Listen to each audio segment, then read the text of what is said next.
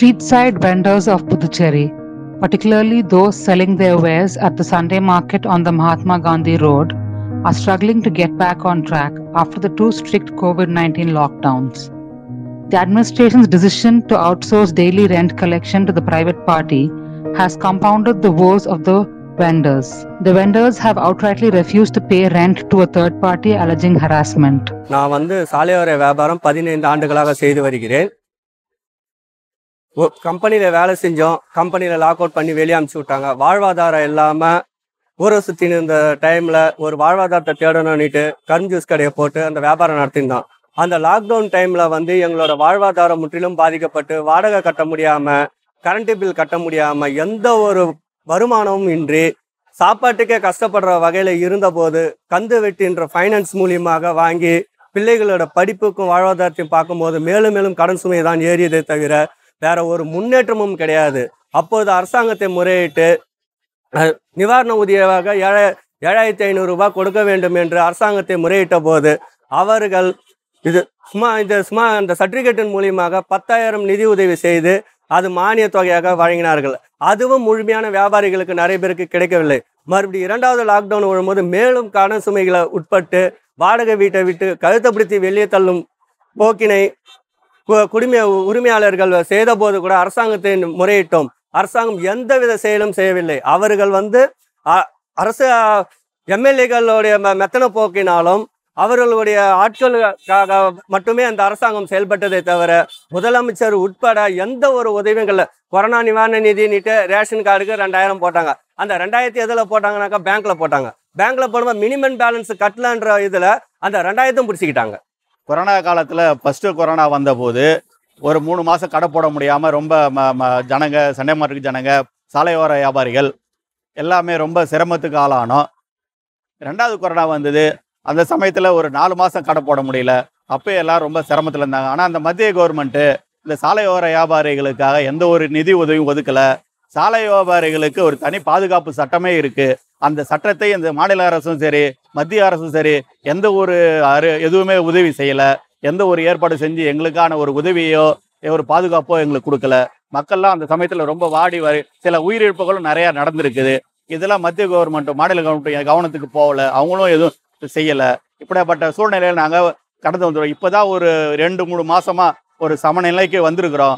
ஆனால் அதுக்குள்ளே இந்த காவல்துறையும் மாவட்ட ஆட்சியாளரோ வருவாய்த்துறை அதிகாரியோ கமிஷனரோ இவங்கெல்லாம் சேர்ந்து மேலும் எங்களுக்கு தொந்தரவு கொடுக்குறாங்க. சண்டே மார்க்கெட் வியாபாரத்தை அடிக்காசு என்ற பிரச்சனையில் குண்டரங்களை வச்சு வசூல் பண்ணுறாங்க அரசாங்கம் வசூல் பண்ண வேண்டிய தொகையை தனியார்கிட்ட விட்டு தனியார்களை அடியால் வச்சு மீட்டருக்கு இவ்வளோ சதுரடிக்கு இவ்வளோன்னு சொல்லிட்டு இதற்கு முன்னாடி இல்லாத அராஜகம் இப்போ பண்ணுறாங்க ஏற்கனவே பத்து ரூபாய் இருபது ரூபா வாங்கின்னு வந்த கடைக்கெல்லாம் இப்போ நூறுரூபா நூற்றி இருபது ரூபாய்ன்னு சொல்லி எல்லார்கிட்டையும் வசூல் பண்ணுறாங்க இந்த போக்கு ரொம்ப மோசமான போக்காக இருக்குது இதை வந்து வன்மையாக நாங்கள் சிஓடி சார்பாக சாலையோர வியாபாரிகள் சார்பாகவும் கடுமையாக இதை நாங்கள் கண்டிக்கிறோம். இந்த கொரோனா பேரிடர் காலம் என்பது கடு கடுமையான காலம். சாலையோர வியாபாரிகள் எந்த விதமும் இல்லாமல் கந்து வட்டிக்கு வாங்கி அவங்களுடைய தொழிலை செய்ய முடியாமல் இப்போ தான் மீண்டு வராங்க. இப்போ புதுசாக ஒரு பிரச்சனை. நகராட்சி என்பது அடிக்காசு செலுத்தணும்னு தொடர்ச்சியாக சொல்கிறாங்க நகராட்சிக்கு அடிக்காசு செலுத்துவதில் எந்த விதமான சுணக்கம் என்பது சாலை ஓரபலில் நகராட்சிக்கு நேரடியாக வசூல் வசூல் செலுத்துவோம். சிஐடியை பொறுத்த வரைக்கும் நம்ம என்ன சொல்கிறோம்னாக்கா தொடர்ச்சியாக நாங்கள் வந்து நகராட்சிக்கு வரி செலுத்துவோம். ஆனாக்கா தனியார் நிறுவனங்களுக்கு கொடுக்க மாட்டோம். பல ஆண்டுகளாக நகராட்சி அடிக்காசு வசூலை சாலையோர வியாபாரிகள் செலுத்த தயாராகி ஒரு ரூபாயிலிருந்து க செலுத்தி கொண்டு வருகிறோம். இப்படிப்பட்ட சூழ்நிலையில் தனியாருக்கு டெண்டர் விட வேண்டாம் என்று பலமுறை கடிதங்கள் கொடுத்தும் வலியுறுத்தியும் சிஐடி சார்பாக சாலையோர வியாபாரி சங்கம் நகராட்சி ஆணையரிடம் பலமுறை பே- பலகட்ட பேச்சுவார்த்தைகளை நடத்தியுள்ளது. அதையும் மீறி இந்த நகராட்சி அரசியல்வாதிகள் சம்பந்தப்பட்ட பினாமிகளுக்கு டெண்டர் விடப்பட்டு விடப்பட்டு இப்பொழுது அது மீட்டர் கணக்கில் சதுர மீட்டர் கணக்கில் வசூல் செய்யப்படுகிறது. ஒரு மாசமா ரொம்ப காசு கேட்டு வரி கேட்டு தொல்லை பண்ணிட்டு இருக்கிறாங்க. இந்த ப்ராப்ளம்லாம் இல்லாமல் எங்களை நல்ல முறையில் வழி நடத்தணும்னு கேட்டுக்கிறோம். ரெண்டாவது நாங்கள் வந்து இதில் தான் எல்லாம் குடும்பம் சாப்பிட்றது நல்லது கெட்டது எல்லாத்துக்குமே இதுலேருந்து எடுத்து தான் நாங்கள் எல்லாமே செய்கிறோம் சாப்பிட்றோம்.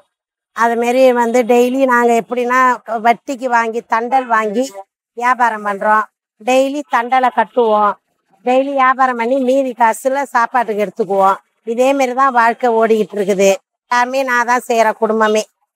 இதை வியாபாரம் பண்ணி தான் எல்லாமே. கடன் கடன் வந்து வியாபாரத்துக்கு வாங்கியிருக்கிறோம். அப்புறம் சில செலவுக்கெல்லாம் கடன் வாங்கியிருக்கிறோம். மாதம் வட்டி கட்டுறேன். எவ்வளோ எல்லாம் மூ மூணு பைசா வட்டிக்கு தான் வட்டி வட்டி கட்டுறேன். வட்டிக்கு வாங்கி கட்டுறேன். சரக்கு எடுப்போம் ச சரக்கு எடுத்து இது ஐட்டம்லாம் எடுப்பேன். எடுத்து கடன் வாங்குவேன் எடுத்து போடுவேன். விற்க விற்க அப்புறம் ச வீட்டு செலவுக்கு எடுத்துருவேன். திரும்பி அது அப்படியே கடன் ஆகிடும் அதை கொடுக்க முடியாத ஒரு சந்தர்ப்பத்தில் அப்படியே வட்டி கொடுக்கறது இப்படியே போயிட்டு சுத்தமாக ஒரு அஞ்சு லட்சம் எங்கள் வாடகை வீட்டில் இருக்கிறோம். கரண்ட் பில்லு கட்டணும். கரண்ட் பில்லையும் தனியாருக்கு விட்டாச்சு? அரசாங்கம் எடுத்து அதையும் தனியாருக்கு விட்டாச்சு. அதுவும் ஏறி போச்சு. கேஸ் விலை ஏறி போச்சு பெட்ரோல் விலை ஏறி போச்சு எல்லாம் போக மத்தியில் ஒரு ஐநூறுரூபா ஒரு நாளைக்கு சம்பாதிச்சா வாடகை வீட்டில் இருக்கிறனால மாதத்துக்கு பதினஞ்சாயிரம். அந்த பதினஞ்சாயிரத்தில் எப்படி வாழ முடியும்? அவனோட குடும்பத்தையும் பார்க்கணும். அவனோட ம- நல்லது கெட்டது உடல் நோய் வாய்ப்பட்டா அதையும் பார்க்கணும். பிள்ளைங்களையும் படிக்க வைக்கின்ற எந்த ஒரு திட்டத்தை பற்றி யாரும் கவலைப்படலை. ஜெயிச்சாச்சு அஞ்சு வருஷம் தலையெழுத்து நம்ம காலு கீழே இருக்கணும் அந்த போக்கு தான் இதே ஒரு சட்டமன்ற உறுப்பினர் அவரோட தேர்தல் அறிக்கையில் குறிப்பிட்டிருக்கார். இருபத்தேழு கோடி ரூபாய் வரி பாக்கி நான் வச்சிருக்கிறேன்னுட்டு. எந்த வித ஒரு நடவடிக்கையும் இல்லை. ஆனால் இங்கே ஒரு சாலையோர வியாபாரி ஒரு பத்து ரூபாய் செலுத்தவில்லை என்றால் காவல்துறையை வச்சு அடித்து அவன் அவனோட பொருளை ஏற்றின்னு போய் மழையில நனைய விட்டு அதை நாசம் பண்ணதான் குறிக்கோளோட இருக்காங்க. இது மாதிரி தான் எங்களோட வாழ்வாதாரம் பாதிக்குது. நாங்கள் கேட்குறது என்னன்னா வாழ வைக்க மாட்டீங்க வாழற எங்களை வாழ விடுங்கன்னு தான் நாங்க கோரிக்கை வைக்கிறோம் சாலையோர வியாபாரிகள் மொத்தம் இருக்கிற ம- மூவாயிரம் நாலாயிரம் வியாபாரிகள் கேட்குற ஒரே கோரிக்கை தான் எங்களை ஒரு ஒ- ஒழுங்குபடுத்தி எங்களை விட்டுடுங்க நாங்க வியாபாரம் பண்றோம் உங்களுக்கு தேவையான வரிகளை கட்டணும் தான் நாங்க சொல்ல வரோம் ஆனா தனியாருக்கு அல்ல The Puducherry Smart City Development Limited website says the purpose of the Smart Cities mission is to drive economic growth and improve the quality of life of people by enabling local area development. However, the vendors fear their livelihood would be affected by the Narendra Modi government's mission. இப்போ இக்கட்டான ஒரு சூழ்நிலை என்ன என்- எப்படிப்பட்ட ஒரு சூழ்நிலை என்று சொன்னால் ஸ்மார்ட் சிட்டி ஏறக்குரிய ஏறக்குறைய ஆயிரத்தி எட்நூத்தி அறுபது கோடி ரூபாய் என்பது ஸ்மார்ட் சிட்டி திட்டத்திற்கான பாண்டிச்சேரியில் ஒதுக்கப்பட்டுள்ள நிதி அஹ் இது முழுவதும் இந்த பகுதியில் இருக்கக்கூடிய முறைசாரா தொழிலாளர் ஈடுபட்டிருக்கக்கூடிய முறைசாரா தொழிலாளர்களுக்கோ குறிப்பாக சொல்ல வேண்டுமானால் சாலையார வியாபாரிகளுக்கோ எந்த விதமெனும் பயனும் தராத இந்த ஸ்மார்ட் திட்டத்தை அமுல்படுத்தக்கூடிய கார்ப்பரேட் நிறுவனங்கள் கொள்ளை லாபம் எடுக்கக்கூடிய அந்த நிகழ்வை நடத்தக்கூடியதான் இந்த ஸ்மார்ட் சிட்டி பணி என்பது. இன்று செயலாக்கம் என்பது உருவாக்கப்பட்டது. ஸ்மார்ட் சிட்டி திட்டத்தை பொறுத்த வரைக்கும் அதை நிறைவேற்றுவதிலோ இல்லை நகரம் வந்து பொலிவு பெறுவதிலோ எங்களுக்கு மாற்று கருத்து கிடையாது ஆனால் அந்த திட்டங்கள் என்பது அமுல்படுத்தும் போது முறைசாரா தொழிலாளர்கள் பெருமளவு இருக்கக்கூடிய அந்த சாலையோர வியாபாரிகளை எந்த வித விதவிலும் பாதிப்பு உள்ளாகாமல் அவளுடைய நலனையும் அக்கறைக்கு கொள்ளக்கூடிய ஒரு அரசாங்கமாக இந்த அரசாங்கம் இருக்கணும். இந்தியாவில் இருக்கக்கூடிய அரசியலமைப்பு சட்டப்படி அவர்களுக்கு உண்ண உணவு கொடுக்கணும் இருக்க இடம் கொடுக்கணும் வேலை கொடுக்கணும். இதெல்லாம் செய்யறதுக்கு அவனுக்கு ஒரு வேலை கொடுக்கணும்.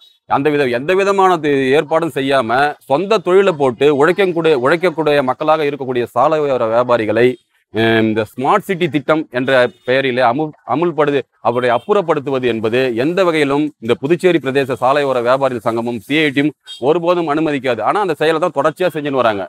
ஏறக்குறைய இன்றைக்கு புதுச்சேரியில் வரக்கூடிய சுற்றுலா பயணிகளை மையம் வைத்து ஸ்மார்ட் சிட்டி திண்டியான பணிகள் இருக்கும் ஏறக்குறைய போன்ற ஒரு ஒரு வாரத்துக்கு முன்னாடியும் சில அரசு என்பது சில விஷயங்களை முந்நூறு கோடி ரூபாயில் ஒதுக்கி அதுக்கான ஸ்மார்ட் சிட்டி திட்ட பணிகளை செஞ்சுன்னு வராங்க. அதுல சாலையோர வியாபாரிகளுக்குன்னு சொன்னா எந்த விதமான திட்டமும் இல்லை. அந்த சட்டம் என்ன சொல்லுது? அவங்களுக்கு அப்புறப்படுத்தும் போது அவங்களுக்கான இடங்களை கண்டுபிடிங்க. அவங்களுக்கு குடிநீர் கழிப்பிடம் உள்ளிட்ட வசதிகளை செஞ்சு கொடுங்க. ஆனால் இந்த அடிப்படை வசதிகள் எதுவுமே செஞ்சு கொடுக்காம இந்த மக்களை இந்த தொழிலாளியை ஒரு சிறுமைப்படுத்தும் விதமாக நகராட்சியும் அரசாங்கமும் தொடர்ந்து இது இப்படிப்பட்ட தாக்குதலை செய்வது என்பது எந்த வகையிலும் ஏற்படுத்த முடியாது அடிக்கடி ஒரு இரண்டு இரண்டு மூன்று வருடங்களாக மாவட்ட ஆட்சியர் ஒரு திட்டம் போடுவார். நகரின் உள்ள பிரதான சாலைகளில் ஆக்கிரமிப்பு என்ற பெயரில் நாங்கள் உங்களெல்லாம் அப்புறப்படுத்துகிறோம்னு சொல்லுவார். ஆக்கிரமிப்பு என்பதை என்னன்னு சொல்கிறீங்கன்னு சொல்லிட்டு அவர்கிட்ட நாங்கள் புரிய வச்சிருக்கிறோம். அவன் அடிக்காசு என்பது டெய்லி கட்டுறான்.